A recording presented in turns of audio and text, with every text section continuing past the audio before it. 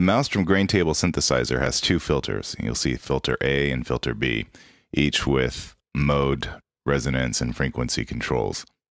And it's useful to put this inside of a combinator so that you can take a single rotary or single button and assign it so that you have simultaneous control over both filters.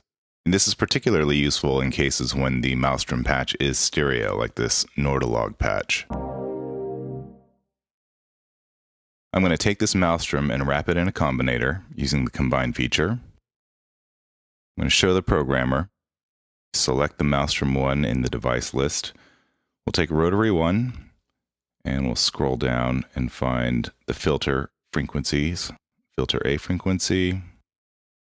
We'll take the second modulation routing, reassign the source to rotary 1, and we'll assign that to filter B frequency. So now rotary 1 is controlling both cutoff frequencies for filter A and filter B. And we'll rename that filter frequency. Now I'm going to do the same with rotary 2 and assign that to the resonance for both filter A and filter B.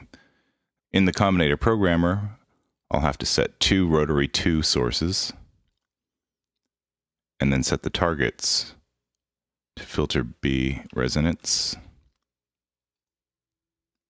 and the other one to filter A resonance. And when I make an adjustment to the rotary, you'll see both resonance controls being changed change this to resonance. Now I can take rotary 3 and assign that to filter modes. Rename the rotary to mode.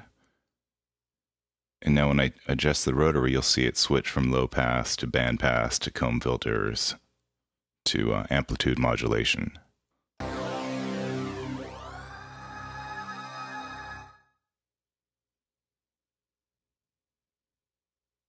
So now that I've got my Malstrom configured in this combinator, I'm going to demonstrate another way of using a matrix pattern sequencer to develop pattern-based sound patches. So in the combinator, hold down the shift key and I'm going to create my matrix pattern sequencer.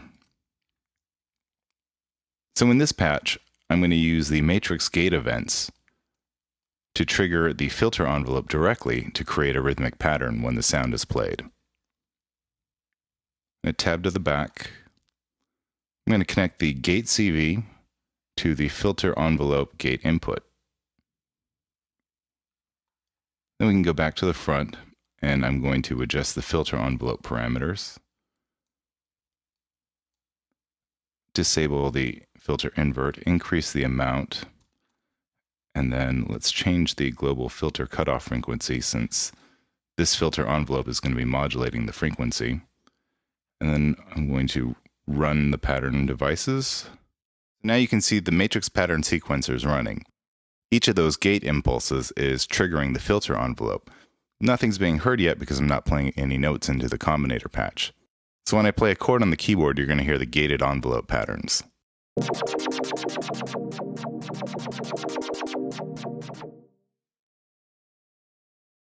And of course, you can program any pattern you like.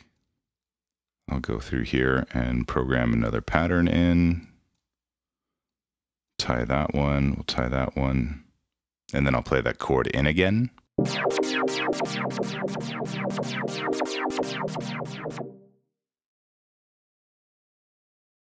So now I want to assign rotary 4 to the filter envelope amount. Envelope amount. So now I have the four combi rotaries mapped to the filter controls of this Malstrom based pattern patch.